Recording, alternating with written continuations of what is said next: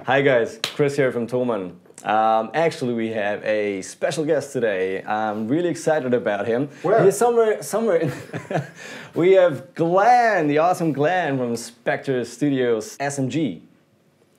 What is SMG? Spectre Media Group. Yeah. How's it going, everybody? So we're really excited you're here, and um, hope you have a good, great time here in Germany. Yeah, I've been having a fantastic time. Musikmesse was an absolute blast. Um, got to meet a lot of cool people. Okay, cool. And uh, yeah, Frankfurt's right on. I really enjoyed it. But first impressions, though, um, I was like, "Holy crap! This campus is huge." Uh, Yeah, this place, this place is insane. Yeah. And and you're building more. Yeah, That's yeah, yeah. that that's impressive. That's- Good for you guys. As it looks, it, it will never stop, but you know, it's exciting times. Absolutely. yeah. cool. awesome. So let's get to the point.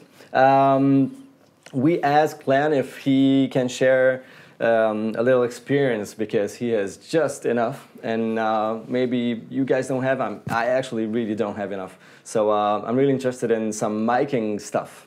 You know, miking your cab.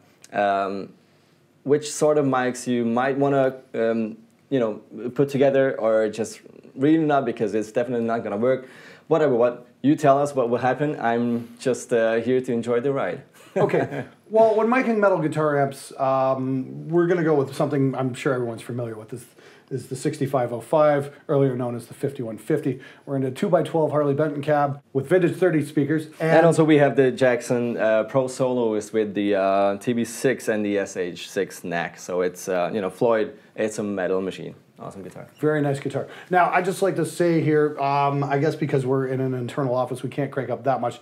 They've got um, a torpedo reload here uh, working as a power soak to take up. But if you have the option, I always say go with cranking your amp up a little bit, at least to get the speakers really moving. So we've got a bit of a volume issue here. So the top end isn't going to be the same as it would be with a much louder cabinet, but you do what you can. exactly Just take that into account. Um, so yes, you guys at home, yes, turn your amps up, even if it annoys your family. If it annoys your family, you're doing it right.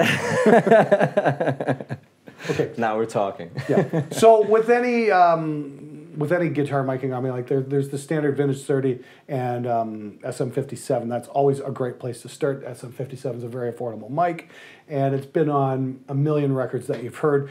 Uh, you just can't go wrong with it. And we've got some alternatives here as well. Um, but yeah, let's start out with the 57. what would you say about the 57 like pros and, and minuses you know what, what's a what's a plus Um, it's cheap and it sounds good. The p- minus is you really got to watch the top end. It can be a little bit spiky, in, especially in the 4K region. All right. So it can be a little irritating. So you've got to be very, very careful. And it's very sensitive to placement. So um, I recommend moving your microphone around, just generally starting at the cap edge. You know where the where the where the cap meets the edge of the cone. Start miking there. And I usually do it about two finger widths out from the cabinet itself, just to give the amp a little bit of room to breathe. Alrighty. So uh, this is actually actually what we did. So um, Yeah, and don't can- be afraid to try different mic placements and techniques, on axis, off axis. Um, you know, a little further out from the from the center, a little more in close towards the center. It really depends. You're going to get a, a darker sound the farther you go away from the center of the speaker. You're going to get a brighter sound the more you go in towards the center. Be careful with that brightness though, because you can tear your ears off real easy. yeah, that's that's sure. Um, would you recommend to place it um, generally in a different place? For example, for high gain stuff, for classic rock, for clean stuff, No, or not is it yeah, it's more of a sweet spot? More, yeah, it's more of a sweet spot kind of thing. Um, like, like I said, generally the cap edge works pretty well Yeah, most of the time. Alrighty. Okay, cool. Uh, so let's hear it. That's uh, the 57 alone, uh, without any paired, you know, second mic. Actually, we have a um, sort of a clean boost. That's the crayon from Electro-Harmonix. Um, we dialed the gain to zero and the volume full on. Uh, we didn't touch too much the uh, the uh, equalization. Yes, and we the one Ah, thing yeah. we did though, we did use the normal gain on the 5150 instead of the high gain. So uh, we're really pushing that, that clean boost because it's going to be a cleaner signal going in here. That's that's something uh, you know that really surprised me. I actually owned um, a head like this for like I don't know how many fif- five six years or something. I never ever touched the normal gain uh, input. Yeah. So he just sticked it in. I was like, okay, wow. Yeah, it's kind of a different different kind of voicing, and it works very it's well. It's way more tight, which is what Yeah. I, I go after always. It's cool, cool. So yeah, here we go.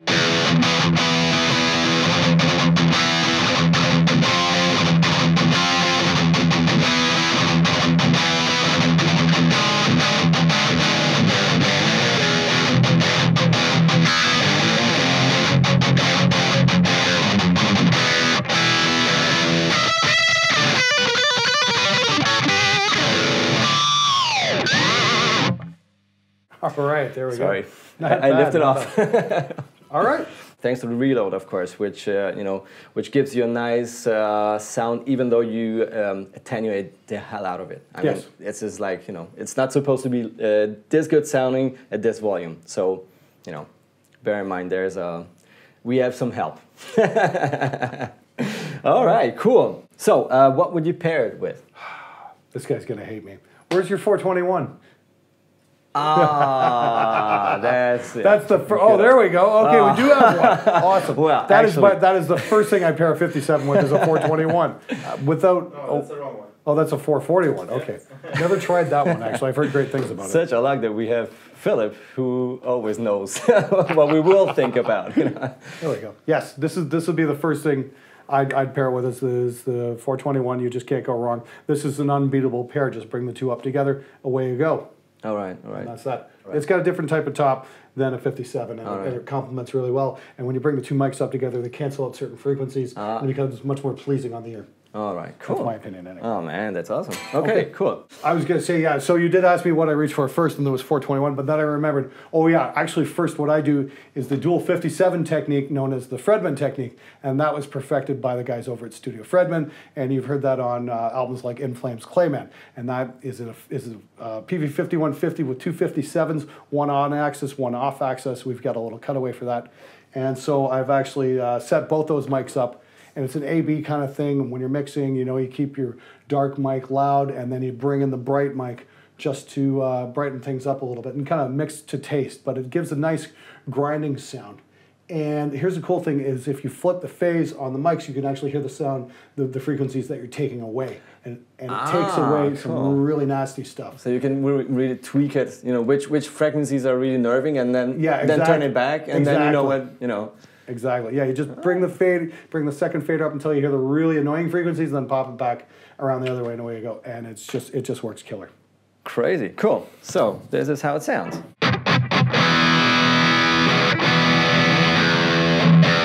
Try to play, play something you know similar to to the last one.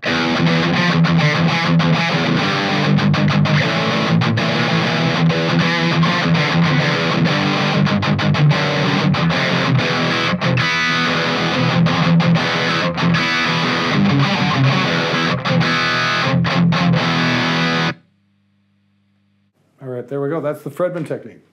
Cool, cool. Next. So second choice here is the is the 421. Um, it's got a slightly different voicing. It pairs up really good with a 57. Um, I use the 421 57 combo on Despised Despised Icons Montreal Assault, which was a live DVD I reamped.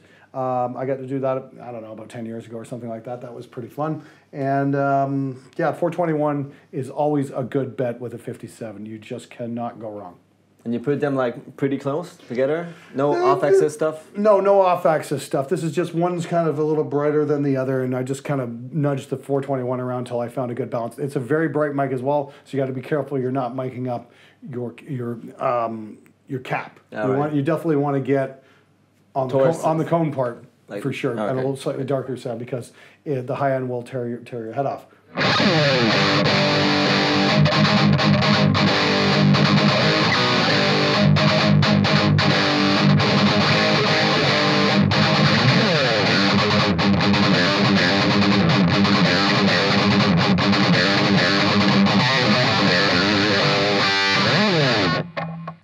You just heard both mics, and um, now we go and um, separate them.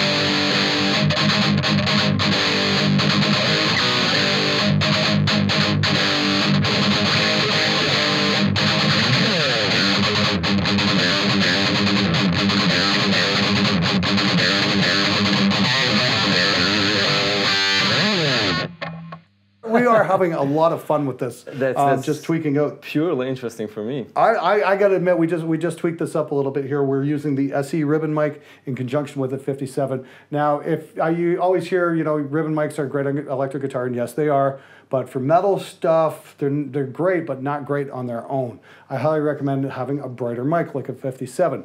And you can see by the mic configuration down here, we've actually um, done something you normally wouldn't do with Dynamics, and that is we've put the ribbon dead center on the cone. It's a dark mic, put it with a bright source. You know, you're always going to get better things. I got to say, I'm really impressed with the results here. Um, in playback with the, with the mics combined, we've got the uh, ribbon full up, and we got the 57 dropped about maybe four or five dBs, and it just sounds wicked. Cool. Okay.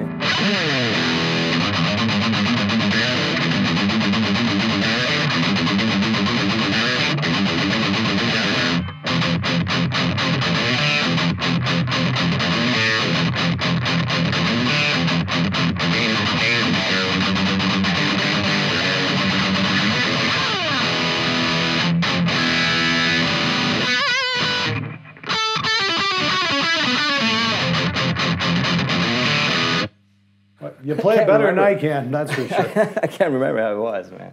yeah. Awesome. Yeah, Okay. so there we go. I'm, Wow. I, I got to say, I'm really impressed with that setup. Last but not least, this is the Warm Audio U87 clone, um, WA87.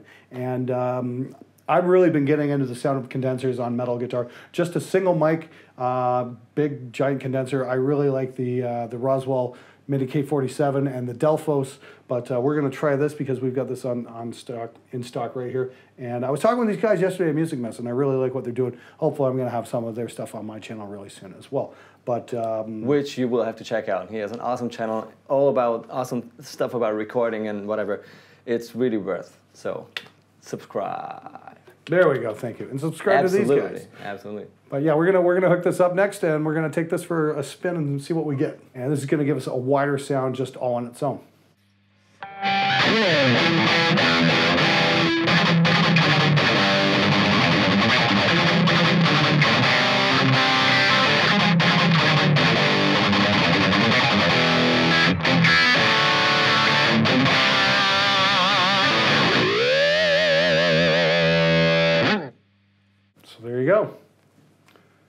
That's really thick, huh? Yep. Yeah, it's pretty interesting. Like I said, you really can't go wrong. Uh, most modern condensers can really take a pounding when it comes to volume, so don't be afraid to crank up. The only problem is going to be getting your signal quiet enough going into your converters. So um, if your mic has a built-in pad, you're going to want to engage that and engage, engage any kind of pad you've got on your preamp as well. Yeah, yeah, yeah. And you're still going to have to probably turn your amp down a little bit quieter than you're used to. And you have to be careful. I mean, my uh, my experiences are really if your your amp isn't loud enough and you're recording, like for example at home, because you know you don't have a, a room where you can really crank it, and you use a condenser, Yeah, you will hear this all the time because they, you know, you Pick will hear a- a fly uh, farting and everything. It's it's crazy how sensitive they are. I mean, this is why we love them, but This is usually why I for a guitar player, it's you know, it's a whoa. This is usually why I have my cabinets in a completely different room, so I can, I don't run into Yeah, that yeah, issue. like so- your laptop is too loud, you know, and all the. Uh, Oh, really? See, I've never run into that problem. So, so uh, build a separate room. That's always a big, big plus. if Before you, can. buy a mic, you might. Your wife really doesn't need a kitchen. you can order. You know? Yeah, exactly. so, is there a normal placement uh, for uh, condenser mics? Like, Uh, just- never put it in the middle, or Yeah, generally, yeah. You don't want to put it in the middle, kind of like on the cap edge. We we tried it here and it was a little bright, so we shifted it over more onto the cone a little bit. Uh, condenser has a much wider pickup pattern, so it's not quite as laser precise as a 57. You know, you can move it around a little bit, and um, you know, the changes are more subtle. yeah, the So changes are much more subtle. Thank you. Oh, oh. So there you go. so Exactly what I was thinking. All right. cool, cool. All right. Um, well, I have learned something. Okay, today. hopefully. a, a lot actually. So um, Hopefully, really hopefully, your viewers get something out of it. Yeah, definitely. So if you guys want to know more about recording and stuff and uh, find this uh, beautiful gentleman um, entertaining, which I the first time anybody's do. ever called me beautiful. You are welcome. so you can check out his channel on YouTube. Definitely. Thanks for having me on board, Hey, man. Glenn, really nice. Uh, it was really nice that you were, you were here. And um, Uh, just, I'm thrilled to be here, man. So you, you'll get your, your sightseeing tour here in uh, That's up next. Yeah. Cool. All right. See you guys. Um, thanks for watching, and um, we'll come back soon with some different stuff. So, cheers. Take it easy. See you later, motherfuckers. Just kidding. I'm kidding. I'm kidding. Musicians are fucking lazy, and they will break your shit if you don't watch them. and then, oh, what my personal favorite is when they leave their half uh, drunk, drunken beer cans all over the floor for you to knock over later after they've left because they were too lazy to pick up after themselves. that your floor sticks like for a month or something. No, no, no, no, matter how no. you- That's after no. That's after they get too drunk and piss on your floor, and you have to clean that up. Can we leave these in Yes, as quotes or something yes, or yes. a teaser? Shit, they're never gonna teach you in recording school.